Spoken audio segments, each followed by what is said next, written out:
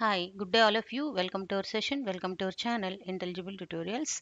In this today's session now I want to give the clear introduction of the domains and paths. So uh, by means we are discussing about the domain testing. Okay. So what is the meaning of the domain testing? Normally in the mathematics we are having domain and range in the functions while we are working with the functions. So what is a domain and what is a range in the nor normal mathematics? Uh, we have already know what is a domain and what is a, a range. For example, f of 1 comma 1. So one can be regarded as the domain and second one can be regarded as the range. So that is the domain and range. How the domain can be represented actually? Actually this the domain is also one kind of variable and as well as range is also one kind of the variable. Domain is a set of possible values of the independent value uh, or the variables of the function. So how many number of the possibility of the values are there for a function that can be regarded as a domain. So it may be one, sometimes it may be two, three, whatever it is, so, so, so. Okay. So next programs as input data classifiers. Whatever data we will give input it can classify the data and it can take the input. Domain testing is a find of the testing phenomena that attempts to determine whether the whatever classification that is taking for the program inputs is correct or not. In the domain testing we can specify that whatever input data we are classifying for the input to the program is directly correct or not. That is nothing but the domain testing. Okay so the next one the domain testing is completely based on the specifications or equivalent information equivalent implementation of the information. So we have some specifications. Based on the specifications only the domain testing will work.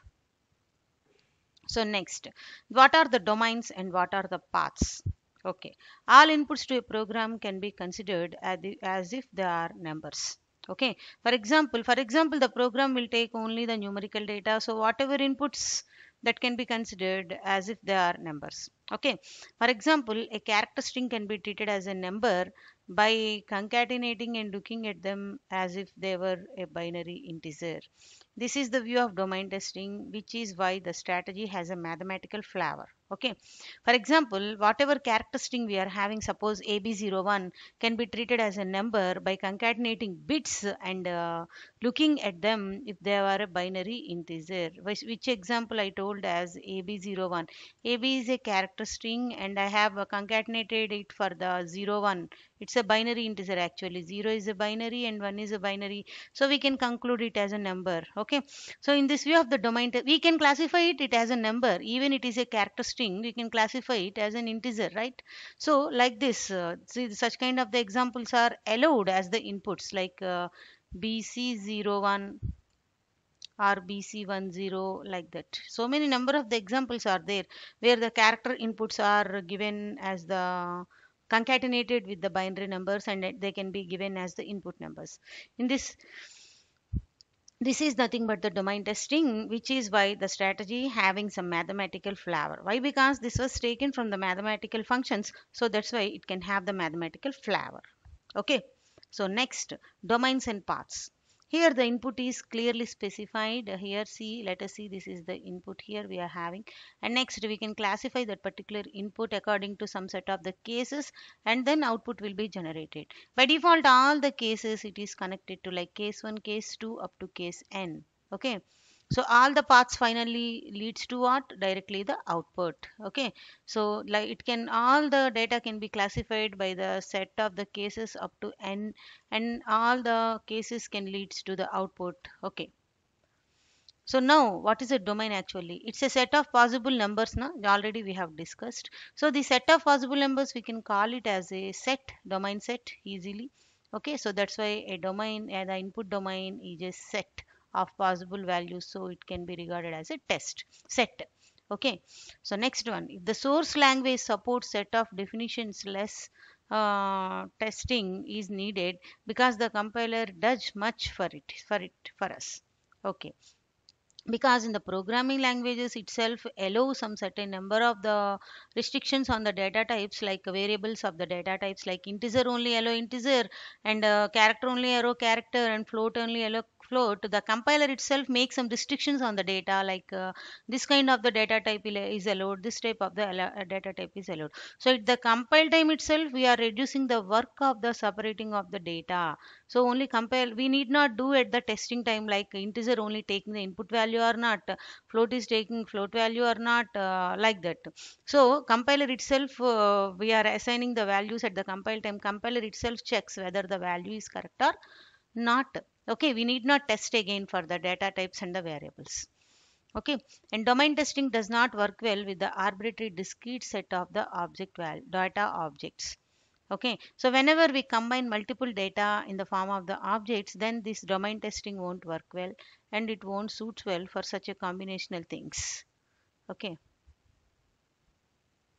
Domain testing is a loop-free program and it is a loop-free testing corresponds to a set of numbers defined over the input vector.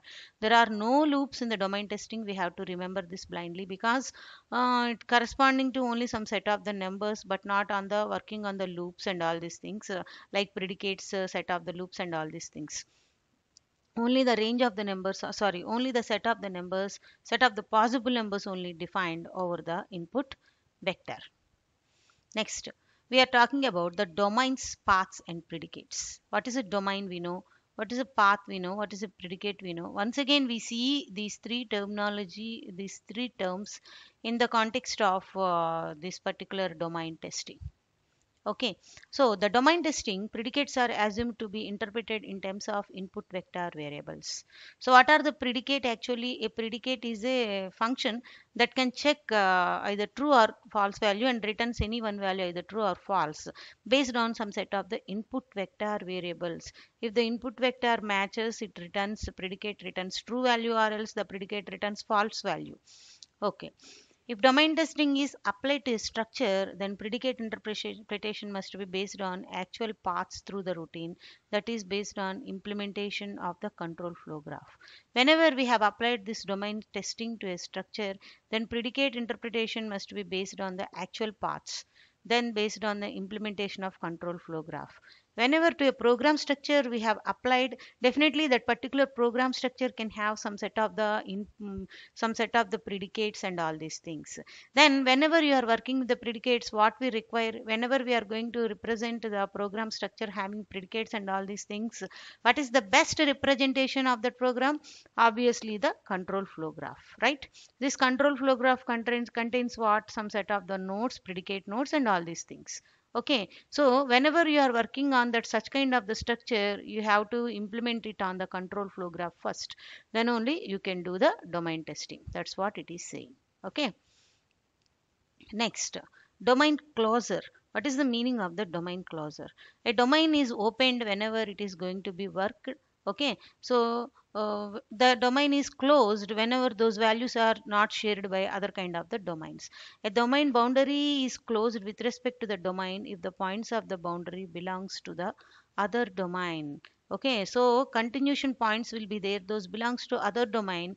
Then it can have some end. Then that is called as the closed domain. Okay?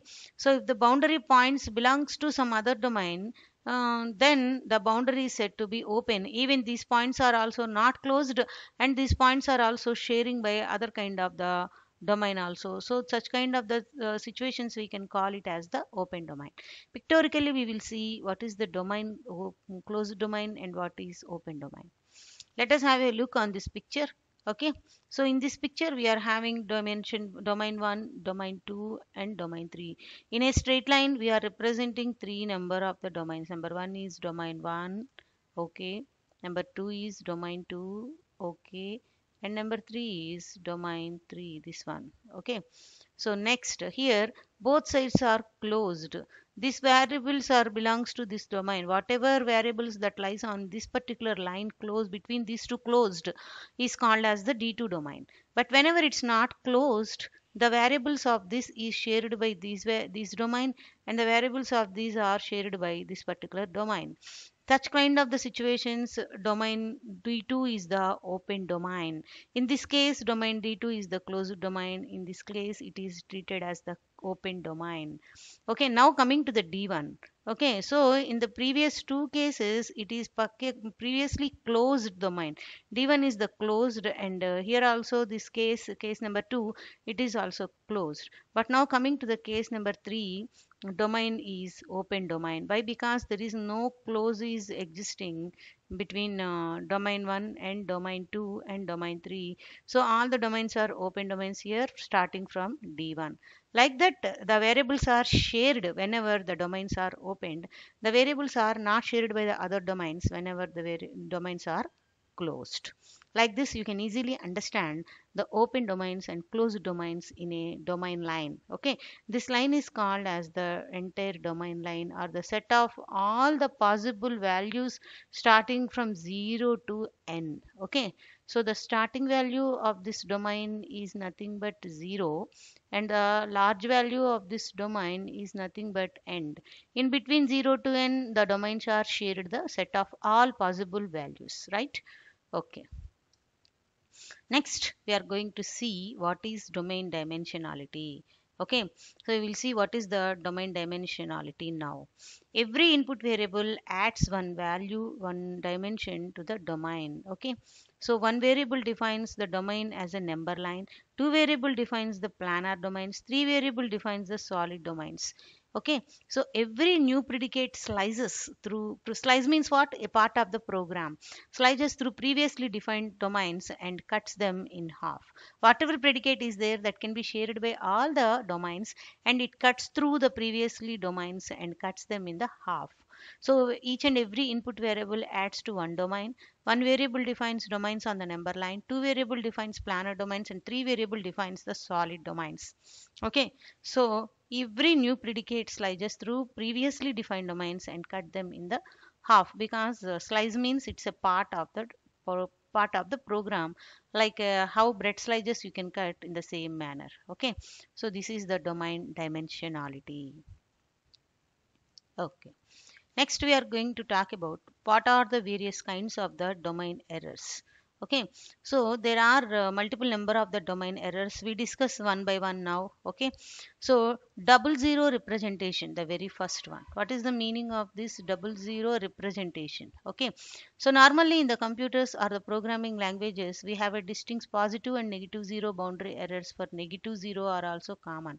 So whenever you represent double zero representation, that is also a domain error okay like this 0 and 0 0 follows by another 0 okay that is the 0 double 0 representation. The next one floating point 0 check.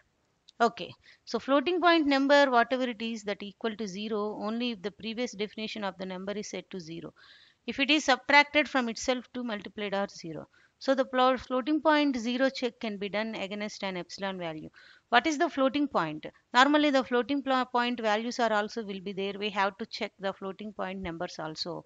Normally a floating point number also can also be equal to 0 suppose we have the value of 0 point uh, some 0 0.000 and uh, some four zeros after you are having some 1 7 6 like that. This number can also be called as the floating point number directly equals to 0 but if the previous definition of the number is set to 0 if it is subtracted from other number or if it is subtracted from itself or multiplied by 0 so the floating point 0 checked to be done against the epsilon value. We have to take care of such kind of the values also by floating point 0 check numbers. The next one is contradictory domains. What are the contradictory domains? An implementation domain, whatever domain that you are going to implement that never be ambiguous or ununderstanding or contradictory but a specific domain but should be a specific domain. Okay? So a contradictory domain specification means that at least two uh, supposedly distinct domains overlap. That means whenever one domain is overlapping on another domain then such kind of the domains are called as contradictory domains. Okay? So domain cannot be a contradictory. It should be normal domain only okay it should not be overlap with another domain. Then such situation is called as a error situation. So what are the first three error situations? Number one double zero representation. It is the number one. So it is also one kind of the error the representation of the double zero. And second one is floating point zero check. And third one is contradictory domains. Domain should not overlap on each other. Okay next domain errors. What are the domain errors normally? So uh, other kind of the domain what sorry the second case of the domain errors now other domain errors now we are going to see. The ambiguous domains so what are the ambiguous domains? Some domains are not clear not understandable. Such kind of the domains are called ambiguous domains. Ambiguous means the union of the domains are incomplete domains not completely defined domains. That means some of the domains are missing and some of the holes are there on the domains. And uh, there is no clear specification of what points are to be there on the domain boundary. And some points are missing on the domain. Such kind of the domains are treated as the ambiguous domains. Ambiguous domains are highly error prone situations. Okay?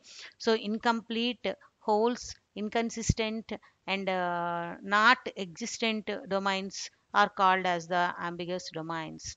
Next one is over specified domains. So what are the over specified domains?